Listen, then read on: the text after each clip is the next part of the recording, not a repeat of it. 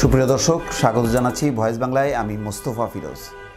রাজধানীর শিক্ষার্থীরা আবার রাজপথে নেমেছে এবং গত কয়েকদিন থেকেই তারা নামছে, বিভিন্ন সড়ক তারা অবরোধ করছে। বিশেষ করে যেসব এলাকায় স্কুল, কলেজ আছে, সেখানে কিন্তু শিক্ষার্থীরা দলে দলে নামছে। এবং কেন নামছে দর্শক আপনারা জানেন, সেটি হচ্ছে হাফ বাস ভাড়া, অর্থাৎ বাসের অর্ধেক ভাড়া। সাম্প্রতিক সময় যে বাস ভাড়া বাড়ানো হয়েছে, তাতে তো এমনিতেই যাত্রীদের নাবিশ্বাস অবস্থা।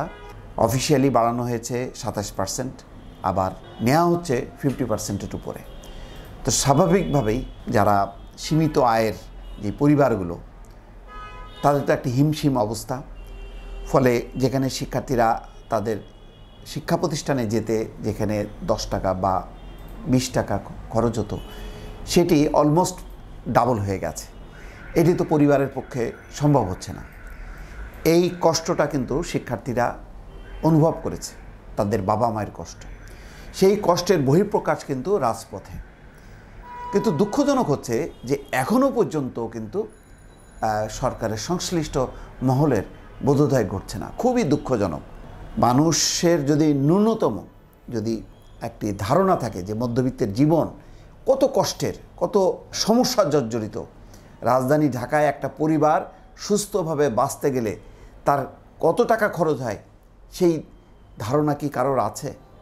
যারা ক্ষমতায় থাকে, তারা কিন্তু টের পান না। কিন্তু সাধারণ মানুষ কিন্তু বুঝতে পারেন। সেই বুঝতে পারার তরুণরা কিন্তু এখন রাজপথে, কিশোররা রাজপথে। কারণ তারা দেখছেন যে, এমনিতেই তাদের বাবা মা তাদের সংসার কত কষ্টে চলে। নুন আনতে পান্তা ফুরায় এরকম একটি অবস্থা। স্কুলের বা কলেজের যে টিউশন ফি, ভর্তি ফি, তারপর নানান রকম সেশন ফি, সেগুলি জোগাতেই তাদের হিমশিম অবস্থা। তারপরে জিনিসপত্রের দাম বেড়েছে। টিফিন আগে হয়তো বিশ টাকার খেতে পারতো, এখন হয়তো পনেরো টাকা বা দশ টাকা। এইভাবে ঘরে ঘরে তো আর আসলে খোঁজ নেওয়ার কেউ নেই এখন।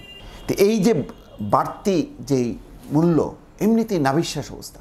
তারপরে যখন নাকি তরুণরা জানে যে আন্তর্জাতিক তেলের বাজারে তেলের দাম কমেছে আর আমাদের এখানে বাস ভাড়া বেড়েছে, সেটা কি তরুণরা কখনো মানতে পারে? কেউ মেনে নেয়? তাও তো ভাগ্য ভালো যে আমাদের এখানে শিক্ষার্থীরা কেবল আন্দোলন করছে। অন্য দেশ হলে বা পাশের দেশ আমরা পশ্চিমবঙ্গে দেখি যে এক টাকা আটানা বাড়লেই কিন্তু তারা রাজপথে নেমে যায়। এখানে কিন্তু এখনও পর্যন্ত অভিভাবকরা নামেনি, অর্থাৎ সাধারণ মানুষ কিন্তু আন্দোলনে নামেনি। কিন্তু যেই জিনিসপত্রের দাম বেড়েছে, বাস ভাড়া সহ। তার কষাঘাতে কিন্তু এই যে দ্রব্যমূল্য বৃদ্ধির যে কষাঘাত, তাতে কিন্তু জর্জরিত সবাই। সেটি টের পাচ্ছে ঘরে ঘরে থাকা যেই কিশোররা, তরুণরা, তারা। তো এই কষ্টটা বোঝার পরেও আশ্বাস দেওয়া হয়েছে, পুলিশের আশ্বাসে কি বেশ কয়েকবার কিন্তু দেখলাম যে বিভিন্ন জায়গা থেকে কিন্তু ওই কিশোররা, তরুণরা রাস্তা ছেড়ে দিয়েছে। দাবি পূরণ হবে বলে।